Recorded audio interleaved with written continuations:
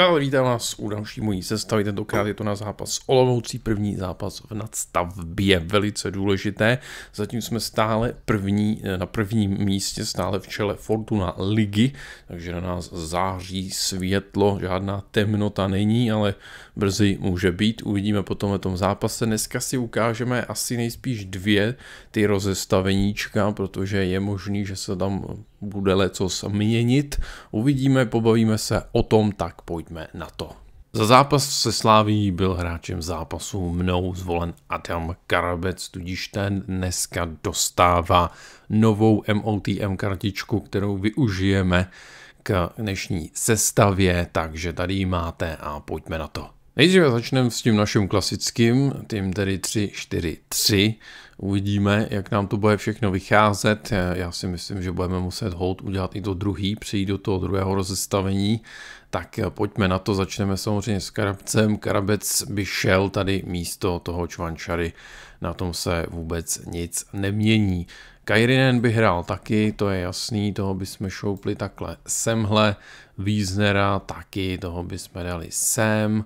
Eh, zeleného, o tom se taky můžeme pobavit samozřejmě, zatím si ho tady takhle vytáhneme, vidru asi s tím úplně nepočítáme, pešek jasně nepočítáme, vytík, vytíka bych tam dal taky, myslím si, že by ho ta chyba nějak měla ovlivnit, nevidím úplně k tomu důvod k tomu ho nějak jako odstavovat nebo něco podobného. Eh, jeden problém tu je ovšem a to jsou žluté karty, protože teď tady vidím hned tři hráče, kteří jsou v ohrožení.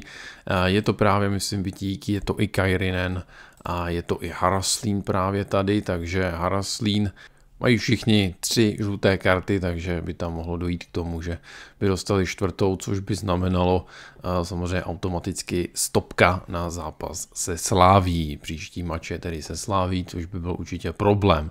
Pak tu máme ještě Mabila, ale Mabila bychom asi, asi nevyužili. Čvančaru využít nemůžem. Serencina doufám, doufám, že toho využít můžem, dali bychom si ho samozřejmě takhle sem, Mejdra nebudeme používat, Karabce po druhý nepotřebujeme, Kukučka nic, Krejčího bychom si taky dali takhle sem, ten taky neodehrál vůbec dobrý zápas s tou sláví, bohužel, bohužel teda musím říct, bohužel. Eh, pak tu máme Sáďu, tak toho si takhle dáme semhle, kováře dáme do brány, to je jasný, jednoduchý. Minčev už by měl být snad zase k dispozici, takže Minčeva, Minčeva, ale asi bych ho do základu nedával. Minčeva, Kamenovič určitě ne, Čelůstka, ani asi Dejva bych tam nějak necpal, o čím se můžeme pobavit. Daněk teoreticky se můžeme pobavit. Pany, pany asi, asi, asi nic. Hejer se můžeme pobavit, jasně, pak tu máme Goliana a končíme kuchtou. Kuchta by šel takhle semhle. Takže co se té obrany týče, tak eh, Krejčí Serencen Vitík by pro mě bylo jako nejideálnější, pokud bychom hráli v tomhle rozestavení. Pokud by Serenze nebyl, prostě by tam šel panák, jako by to, jako to bylo v tom, v tom derby. Na tomhle bych asi nic neměnil a doufám, že by se prostě ten výkon eh, vyvedl, řekněme, vyvedl prostě lépe než proti té Slávii, s tím, že Krejčí by působil poněkud jistěji. Jo? Tam, co Vytík udělal chybu, tak prostě udělal chybu, jinak odehrál velmi dobrý zápas. Eh, Zelený a Heyer, tam bych možná dal přednost takhle Heyerovi z důvodu toho, pošetřit toho jardu, pošetřit toho jardu zase, jo, jako prostě teď těch zápas měl zase Heyer předtím nehrál, tak teď zase bych to otočil, prostě bych tam dal Heyera, uh, Wiesner, jednoduše prostě vizi, vizi jako ten tam není moc na výběr jinak. Uh, Kairinen určitě, Sadílek, podle mě těžko říct, no, jako možná by tam mohl být i ten Lači, jakože Olomouc, Olomouc, je to Olomouc venku, mohl by tam, mohl, jo, asi, asi možná jo, asi možná jo, asi bych dal přednost tentokrát Lačimu, takže bych tam dal Kairinena s Lačím, Karabce bych nechal, Kuchta je tedy v karetním ohrožení, jak jsem říkal, ale já bych ho nechal, protože tam, co máme za variantu, to je asi jenom Minčev, případně ještě schánělec, ale asi, asi, asi ne, no, asi bych tam prostě kuchtu nechal. A, a pak je tu ještě teda Daněk a tady bych asi stáhnul Haraslína a dal bych tam toho Dáňu, no, dal bych tam toho Dáňu, přece jenom a tím bychom, tím bychom ubrali na tom jednou karetním potenciálním trestu, když vlastně i ten Kairinen je v tom je v tom ohrožení, no teoreticky by tam teda mohl být ten sadílek, no místo, místo, místo Kairinena, ho tady jakhle vrátím.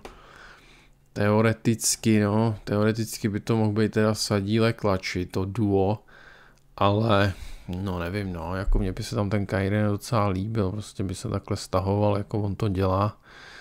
Uh, to je těžký, to je těžký, to je těžký. Hmm, ale jo, no, tak asi, asi jo, no, čistě kvůli těm kartám teda uh, by tam byl sadílek a lači v tom středu, takže bych to udělal asi, asi takhle s nějakými těmi kompromisy, co se karet týče. Uh, kovář teda v bráně jasně krejčí Serencen Vitík, pokud Serencen bude k dispozici, pokud ne, tak panák. Vitík, Vitík je taky v tom ohrožení karetním, ale to bych tam nechal, ten by prostě to musel uhrát. Vizi, eh, jasně, Hejera bych dal, aby si zelí zase od Fork prostě protočit, takže Hejer. Sadílek Lači, protože teda Kairiden je taky v tom ohrožení karetním, tak tam bych to vyřešil asi takhle. Karabec by hrál, jasně.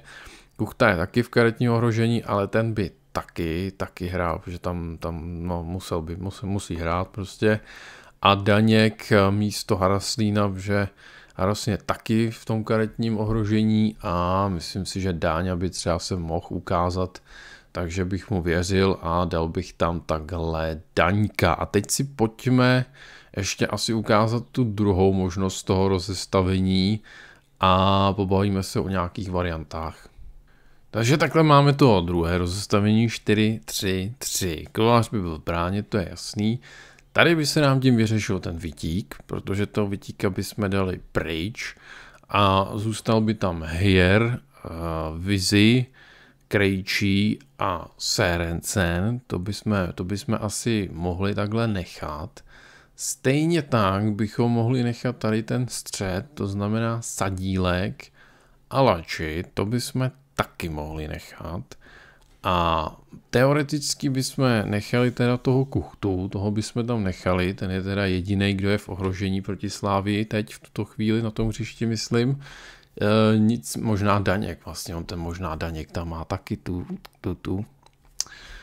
O boj, o boj, ten Daněk možná taky, teď mi to tak došlo. No to je jedno, no, takže, no dobrý, dobrý, no, nech, nech, nech, nechme tam Daňka. Nechme tam i kuchtu, a chybí nám jeden hráč teda do toho středu a jak jsem vám říkal, já tam nevím, jestli on ten mobil bude k dispozici, jo, ale jak jsem vám říkal posledně, já bych tam prostě frknul toho mobila. Já bych takhle do toho středu frknul toho mobila a ten by hrál ve středu. Ten by hrál v tom středu. Mobil teda dostal downgrade, teď o poslední revizi kartiček, takže u příští mojí sestavy už budou, už budou nové kartičky, takže budou nové ratingy. No, dal bych ho takhle. Já bych to dal asi takhle. Jako je to, je to takový, no, je to takový polepený, prostě není, není to ono, no, ale víme, že prostě teď, teď, teď hold nemáme tu nejsilnější základní sestavu, plus když do toho promluví ještě ty žluté karty, ale zkusil bych to prostě takhle, no, zkusil bych to takhle, Krejčí by byl vzadu, nebyl by v tom středu, byl by vzadu, sadíle klači střed, což je velmi energické, velmi běhavé. To si myslím, že by vůbec nebyl problém. Teoreticky to Lači by mohl být ten, který by se stahoval jako trošku Kairinenovsky třeba dozadu, aby přebíral ten balón. Jo, potom ho nějakým způsobem distribuoval, sadíle klasicky prostě box to box, lítačka nahoru dolů, známe to, víme to.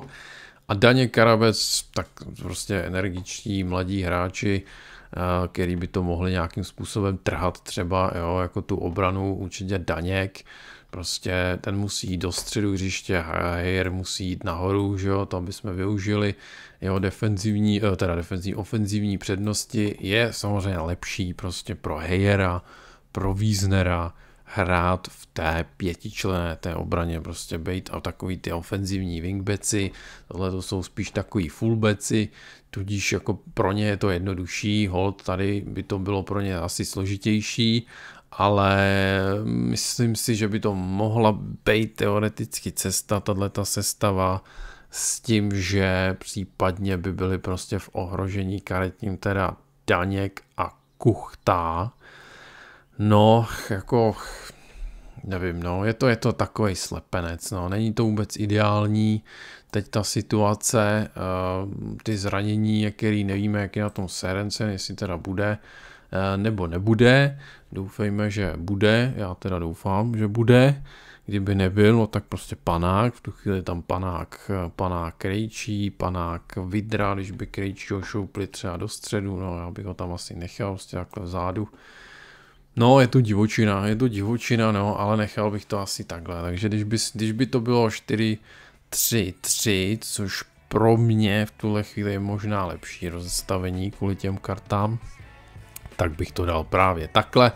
Můžete mi napsat do komentářů, jak byste to dali vy, co si myslíte o mobilovi na uh, ofenzivním záložníkovi a určitě hoďte like na video, kdo jste tu nový, zvažte odběr a do příště se mějte. Ciao.